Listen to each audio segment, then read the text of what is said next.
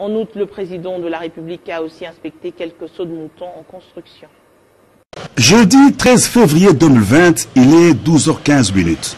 Le président de la République Félix Antoine Tshisekedi Chilombo quitte sa résidence à la Cité de l'Union africaine pour une longue tournée à travers la ville de Kinshasa. Il s'agit d'une visite d'inspection des grands chantiers de la capitale.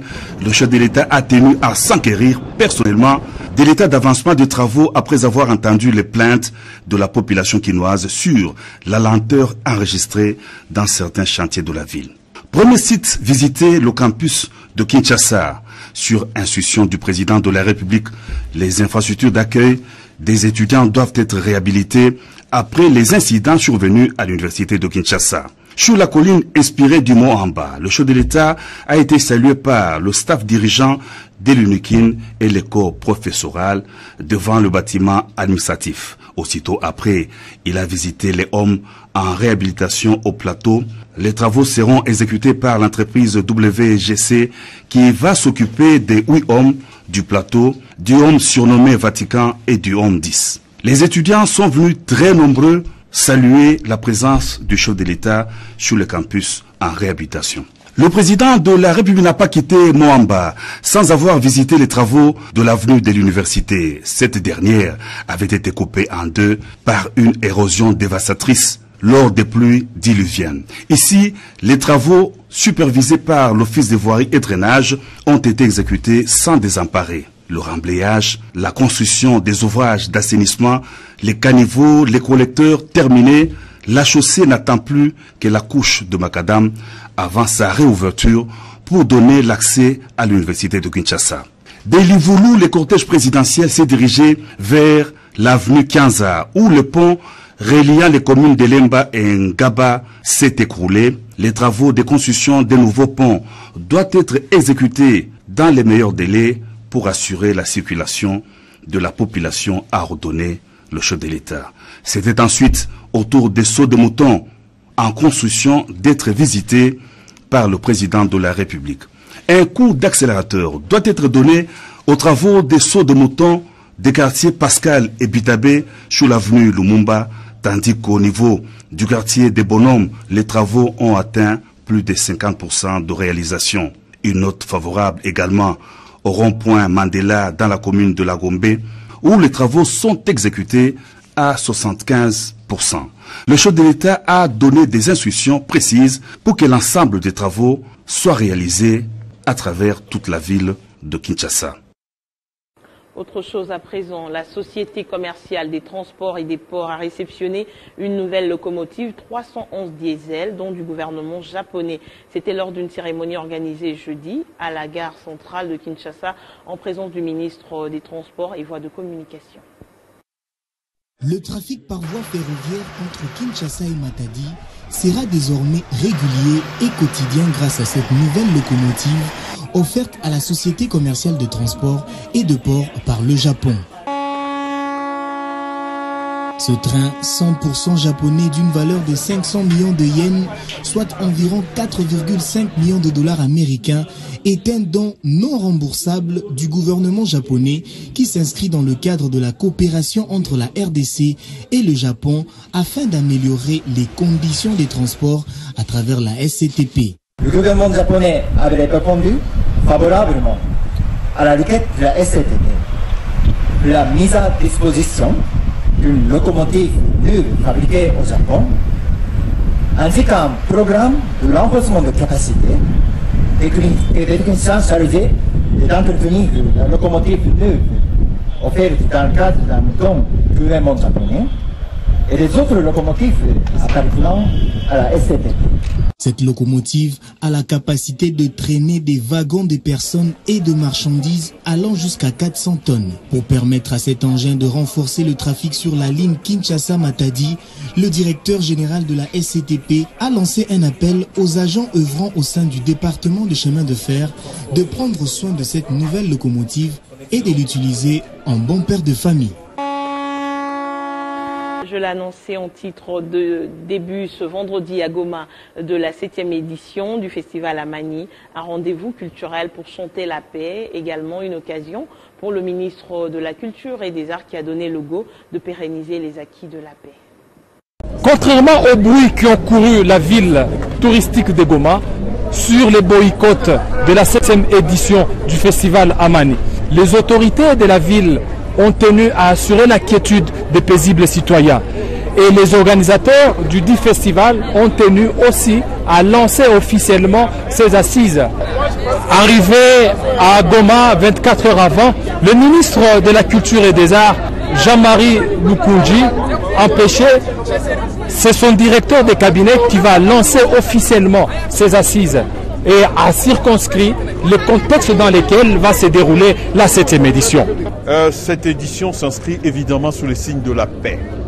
Et cette édition ne sort pas du contexte de la province du Nord Kivu dans laquelle il y a de violences et des tueries. Cette édition pour nous est une occasion de visibilité de cette province du Nord Kivu qui a besoin de l'affection, de l'action et du soutien du monde entier. Ce festival de trois jours connaîtra plusieurs artistes et musiciens et entrepreneurs, une manière pour la République démocratique du Congo de vendre l'image positive de la province en proie au conflit. C'était là Jean-David Kilolo, notre envoyé spécial sur place.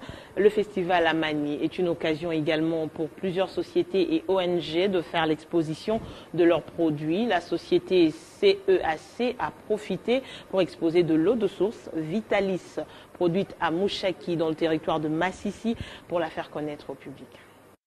L'eau des sources Vitalis est exposée à la 7e édition du festival Amani Agoma produite à Mouchaki dans les territoires de Massissi. Sa présence à ces rendez-vous culturels marque sa première sortie officielle afin de la faire connaître à la population, selon Jean-Baptiste Sebagabo, chef de ce projet. Nous exposons notre Vitalis aujourd'hui dans ce festival parce que c'est une occasion euh, qui nous est offerte pour faire connaître au public pour la première fois notre produit. Le stand de cette eau Vitalis a reçu pour ce premier jour du festival à Mani plusieurs curieux qui veulent en savoir plus. Cette eau de source Gassouza à Mouchaki sera donc exposée pendant trois jours, d'où un appel aux festivaliers de venir la découvrir. Celui qui découvre Vitalis le fasse découvrir aux autres. Parce que c'est une perle rare qui vient dans notre pays, dans notre région ici, dans notre ville. Ceux qui sont en train de boire Vitalis disent que c'est une eau de qualité. Je vais recommander à tout le monde de consommer cette eau. Bon, malgré que je ne sais pas, mais il y a un, un, monsieur qui vient de me la donner. Je peux trouver que c'est agréable à la santé.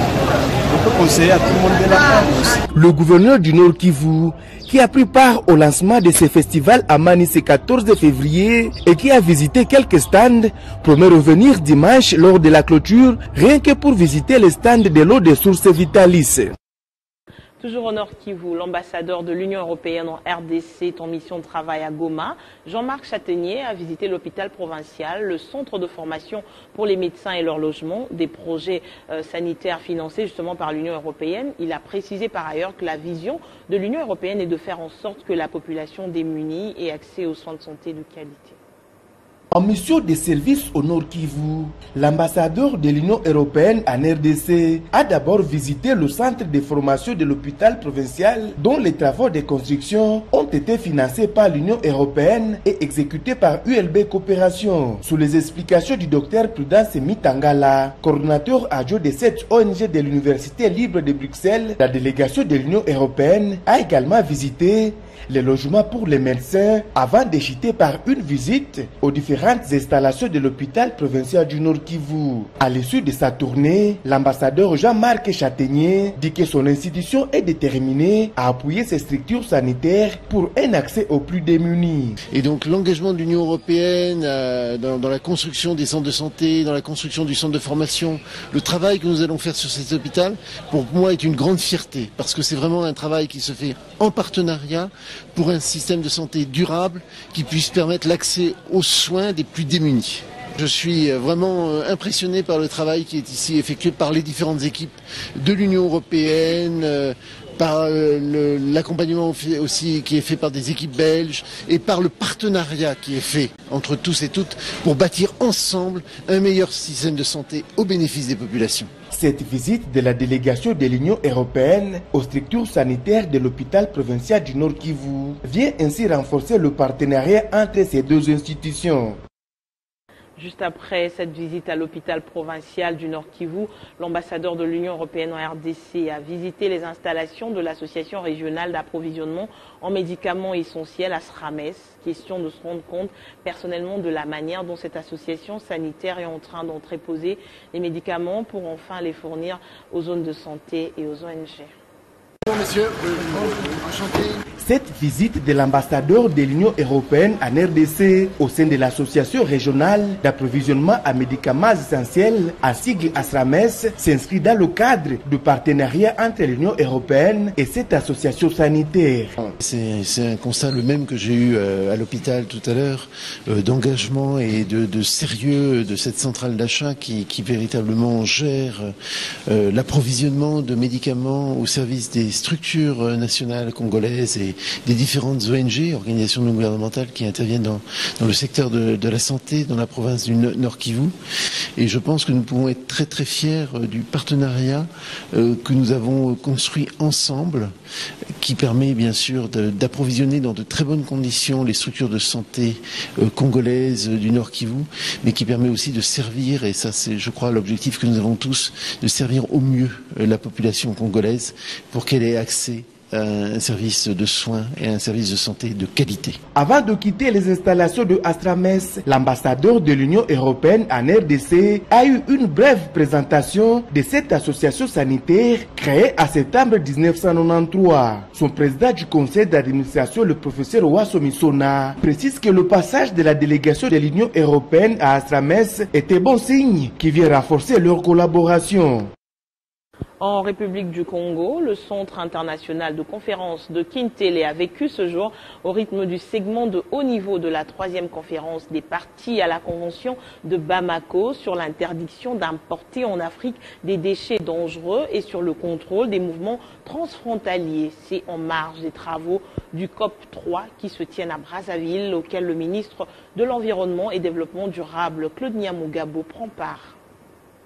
C'est le Premier ministre de la République du Congo, Clément Mwamba, qui ouvre ces importantes assises marquées par la remise et reprise entre Joseph Seka Seka, ministre de l'Environnement de la Côte d'Ivoire, et Arlette Soudan Nono, ministre du Tourisme et Environnement du Congo, devenue présidente de la conférence de parti COP3 pour un mandat de deux ans. Le ministre de l'Environnement et du Développement durable de la République démocratique du Congo, Claude Niamugabo Baziboué, prenant la parole pour le compte de son pays, a martelé sur le fait que l'Afrique doit barrer la route aux produits chimiques et déchets toxiques. Il faut un engagement des actions concrètes et des fortes décisions politiques pour relever le défi. La République démocratique du Congo est déjà bien avancée quant à ce et prend déjà des dispositions idoines. La problématique des déchets en Afrique préoccupe au plus haut point mon pays, la République démocratique du Congo, à telle enseigne qu'en date du 1er novembre 2019, le Conseil des ministres, présidé par le président de la République, son Excellence Félix Antoine Tshisekedi Chilombo, a décidé de l'organisation au cours du premier semestre de l'année 2020 à Kinshasa d'un forum de haut niveau sur la gestion intégrée des déchets face aux enjeux du changement climatique. Et ici à Kinshasa, dans le but de vaincre le VIH-Sida d'ici à 2030, le gouverneur de la ville de Kinshasa a sensibilisé les Quinois sur le dépistage, la protection et le traitement de cette pandémie. Gentini Ngobila exhorte également les Quinois à ne plus stigmatiser les personnes vivant avec le VIH-Sida. Il l'a dit dans un message adressé à la ville. Chères Quinoises et Quinois, Aujourd'hui, je vais vous parler du VIH-Sida. Notre ville, province de Kinshasa, a souscrit depuis 2014 à un engagement international dénommé Les villes s'engagent. Parce que les grandes villes du monde portent une grande part du fardeau mondial de l'épidémie du VIH. Pour en finir, il faut plus de leadership politique, du partenariat ainsi que l'investissement pour l'atteinte de l'objectif de la cascade 95, 95, 95. J'en appelle donc à tout un chacun à un renforcement de la prise de conscience sur le fait que le VIH-Sida reste une réalité. Il faut pour cela se protéger et protéger également la communauté. Quinoises et quinois, la connaissance de votre statut sérologique est nécessaire.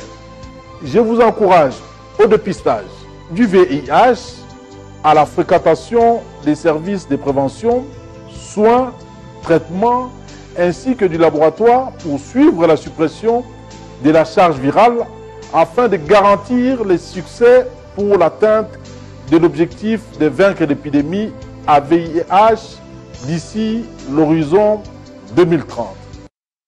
Après plusieurs jours passés à la Belle Étoile, dans des conditions difficiles, les sinistrés des pluies diluviennes du quartier Lagos dans la commune de Lancel ont finalement lancé un ouf de soulagement grâce à Marie-Kate Moutinga, députée provinciale de Kinshasa.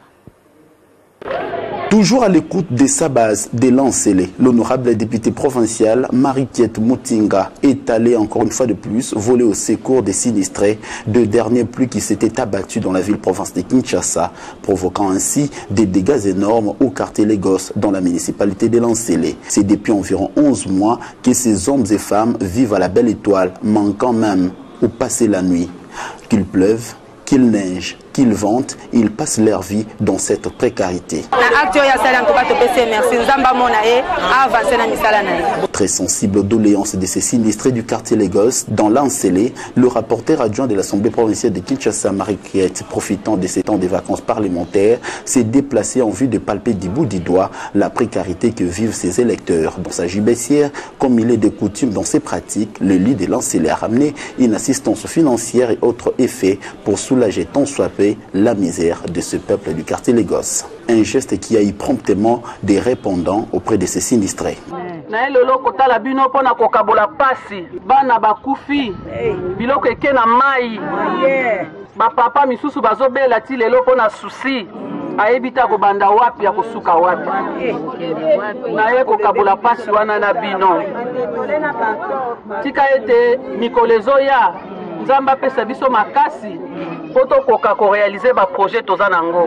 La députée provinciale Mariquette Moutinga compte mener des démarches auprès de l'exécutif provincial pour qu'une solution urgente soit réservée à ces sinistrés du quartier Lagos dans la commune de Lancélé. L'élu d'Ikela dans la province de la Chuapa, Fidel Ikinda, était dans son fief électoral pour échanger avec sa base sur les grandes questions d'actualité du pays. L'état actuel de la coalition FCCKH a été largement évoqué.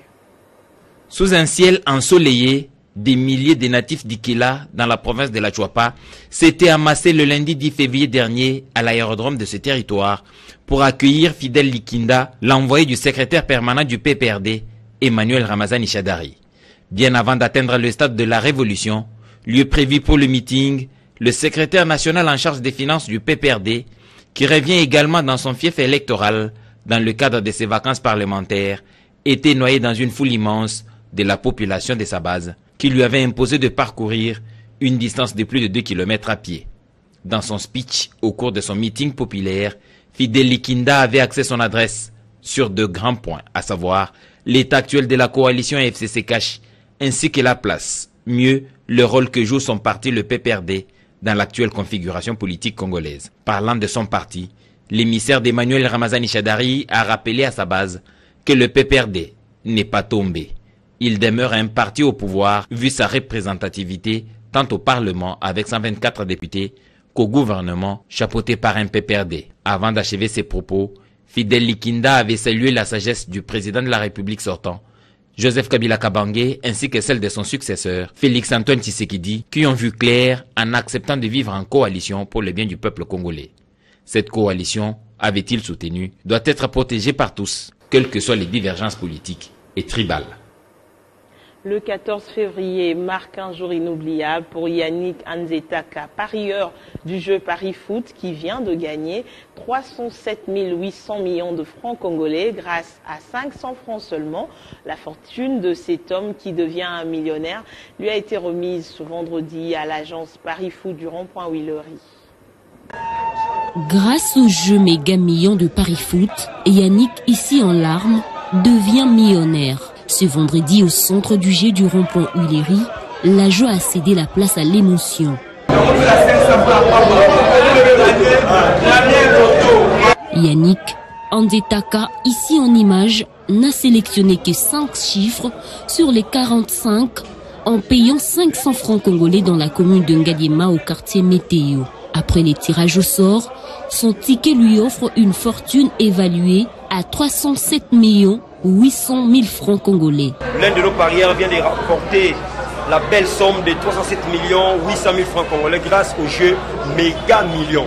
Et là, euh, il a joué dans la commune d'Engaliema, plus précisément à Météo, et il vient d'empocher cette euh, pactole de 307 millions 800 000 francs congolais. Les jeunes de plus de 18 ans sont invités à jouer afin de maximiser les chances de gagner. Nous invitons les jeunes à jouer pouvez espérer remporter cette somme. Donc euh, nous vous encourageons à joindre nos points de vente, shop et centre premier loto. Et là, vous découvrirez nos jeux et principalement méga millions et la chance vous sourira sûrement. Le jeu est facile. Il y a 45 numéros et les parieurs choisissent 5 numéros sur les 45. Et lors des tirages, euh, nous tirons 5 numéros sur 45. Et si les parieurs observent son ticket et que les 5 numéros apparaissent lors des tirages, eh bien là, il sourit, il est vainqueur, donc il est gagnant. La direction générale de la CNCS informe à tous ses locataires, locataires débiteurs de ces appartements qu'un délai supplémentaire allant jusqu'au 15 février leur est accordé afin de s'acquitter de leur loyer. Dépassé ce délai, la CNCS sera obligée de récupérer ces unités occupées conformément aux dispositions en la matière.